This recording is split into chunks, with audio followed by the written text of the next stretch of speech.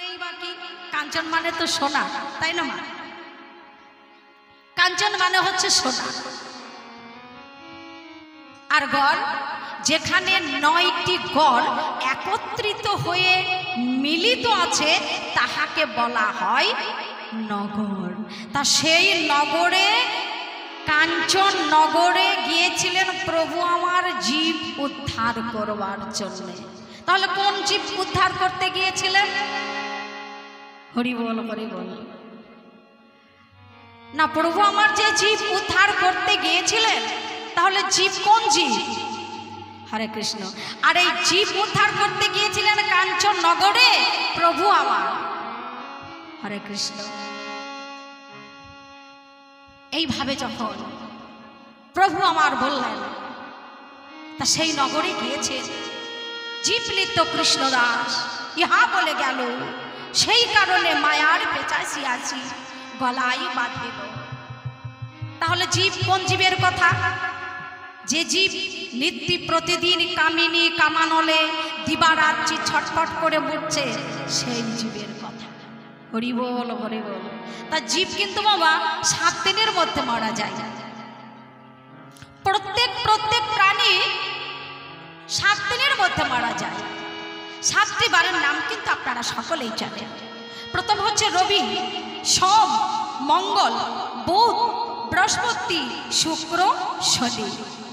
এই সাতটি বারে জীব উদ্ধার করতে গিয়েছিলেন। আর এই সাতটি বারে কিন্তু প্রত্যেক জীব, প্রত্যেক প্রাণী মারা যায়। তাহলে প্রথমবার হচ্ছে রবিবার। রবিতে যদি ভব সংসারে রবি সামনে আসছে সোমবার। সমে সংযম হাও।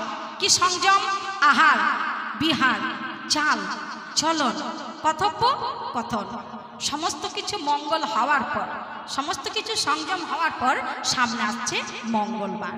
মঙ্গলবারে কি হবে? না মঙ্গল হবে। কি মঙ্গল? অহিক মঙ্গল, দৈহিক মঙ্গল পরলোকী মঙ্গল, পরমার্থিক মঙ্গল হবে।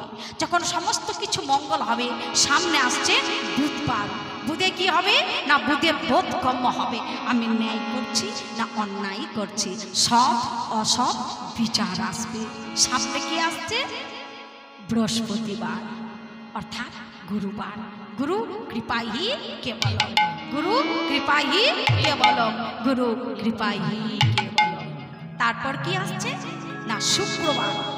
যখনই নাকি আমাদের গুরুদেবের কৃপা লাভ হবে, শুক্রবারে, অর্থাৎ শুক্র ধারণ হবে, ব্রহ্মচর্য নির্বৃত্ত পালন হবে। সামনে কি আসছে? শনিবার।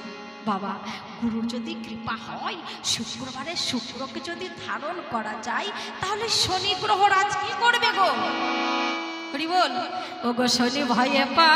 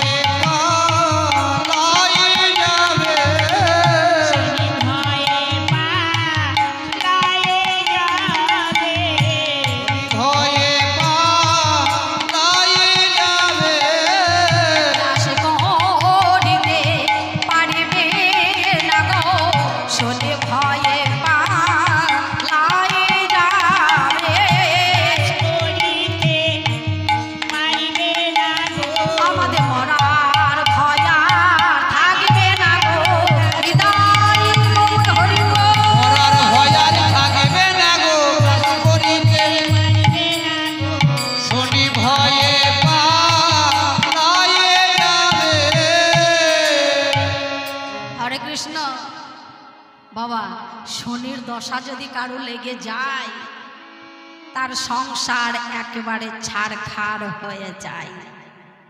আর যখনই নাকি আমাদের গুরুদেবের কৃপা লাভ হয়, যখন আমরা গুরুকর্ম করি, ওই ছাড়খাড় থেকে কিন্তু আমরা রেহাই পাই। একমাত্র গুরুর কৃপা। গুরু আশ্রয়।